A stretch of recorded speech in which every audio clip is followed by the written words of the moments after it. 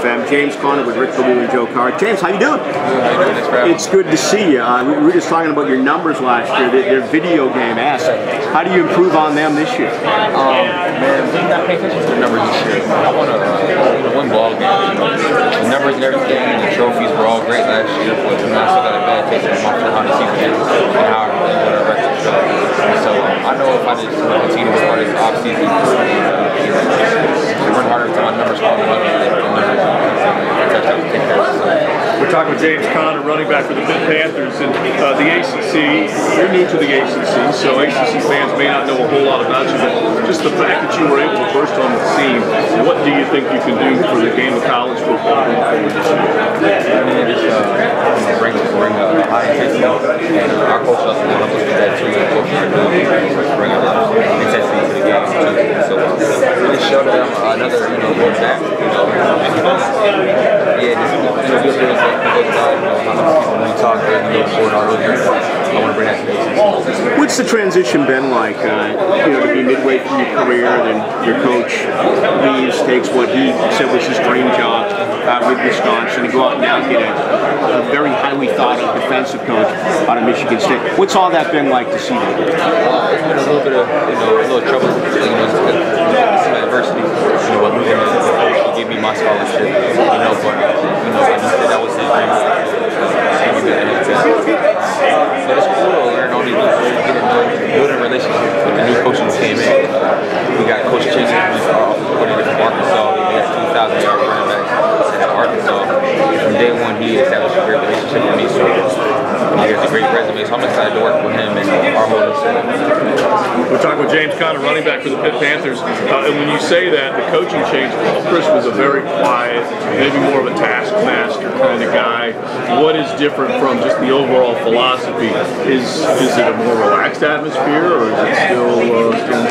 Uh, like you said, you're right. Coach Chryst, you know, laid back, still got the job done, still uh, very dedicated to his job. Uh, just, of course, trying to do is a little bit for me. You know, uh, A little more fun? It's not fun. It's not fun. I had a lot- great time with Coach Greg, you know, but he's just more, you know, hands-on. Sometimes I think he's taking up in the drill. He's just, uh, he's a real hyper guy. But uh, been, it's been fun he had consistent top five defense at Michigan State, and obviously that's a concern right now overall for Pitt being able to turn things around on that side of the football. Right, and so, you know, what better man than him? So, uh, we're very excited. Our offense, smooth the ball, the ball in the end finishing strong defense.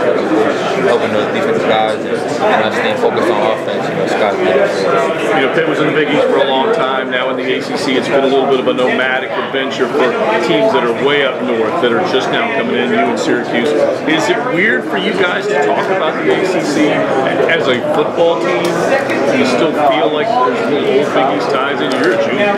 Well, uh, 2013 was my freshman year, and that was my freshman ACC, Yeah. so all I know is ACC. A game in Big East. And so uh, easy for me to talk about, but uh, I'm sure for some of our seniors and guys who recently uh, graduated, it's a little different than a it's You're loaded on the offense. You do lose some linemen, and that's huge for you as a, as a tailback. But obviously, your quarterback's back. I, I got to put you and Boyd up. I mean, I'll tell you what, one-two. It's tough to find another combination uh, in the conference that is electrifying as yourself and, and him as a, as a running back wide receiver combo. What are the expectations for this offense? Uh, yeah, like you said, um, we who's been down with the Vikings. Matt Rotheram was the Green. We lost those two guys. Uh, but all that means is somebody got to step up. We'll out those guys are. But yeah, uh, Chad's coming back. Tyler, know, phenomenal athlete. Chad is focused uh.